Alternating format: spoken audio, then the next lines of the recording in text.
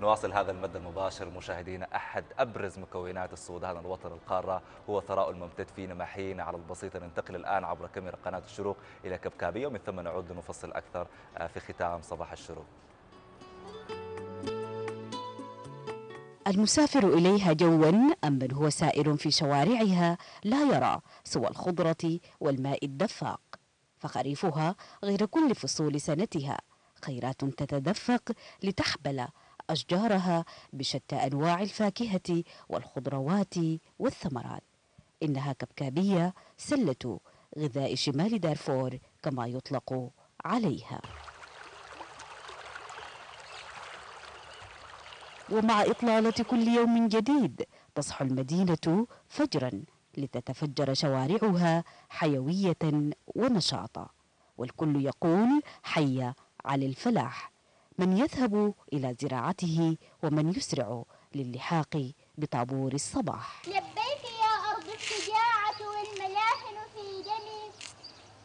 فإذا فديت فتسلمي وإذا حييت فتنعمي وبما أنها أرض خصبة وولود كان سكانها كذلك فقبيلة الفور التي أورثت هذه المنطقة لم توقفها على نفسها بل فتحت ذراعيها لقبائل من دارفور وأخرى من خارجها ليعيش الجميع تحت مظلة كبكارة.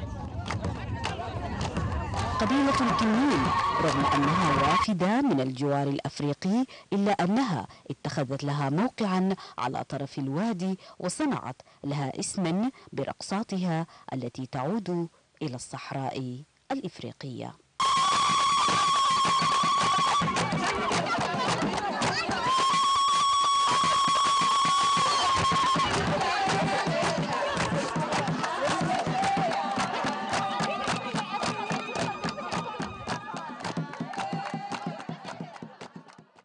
دارفور لا يوجد فيها نيل أو بحر ولكن الله جل وعلا حباها بأودية تضاهي سحر النيل الخالد وروعته. وادي قرقو الذي يمتد إلى ما بعد البصر يتدفق كالنيل في ذروته. يخلب الوجدان ويحفز على ميلاد الأغنيات والأشعار والمخاض هنا ليس عسيرا فالطبيعة تيسر كل عسر لكلمة أو لحن. وكما قلنا فإن الطبيعة الساحرة تغري كل من بنفسه جمال أو شيء من فن على رسم لوحات تبرز وجه كبكابية كما هو. وهنا الخيال لا يدعب كثيرا لأن عناصر ما يحتاجه لرسم لوحة موجود ولا يحتاج إلى كثير عناء. وما خفي عن كبكابية أجمل مما عرفناه بكثير.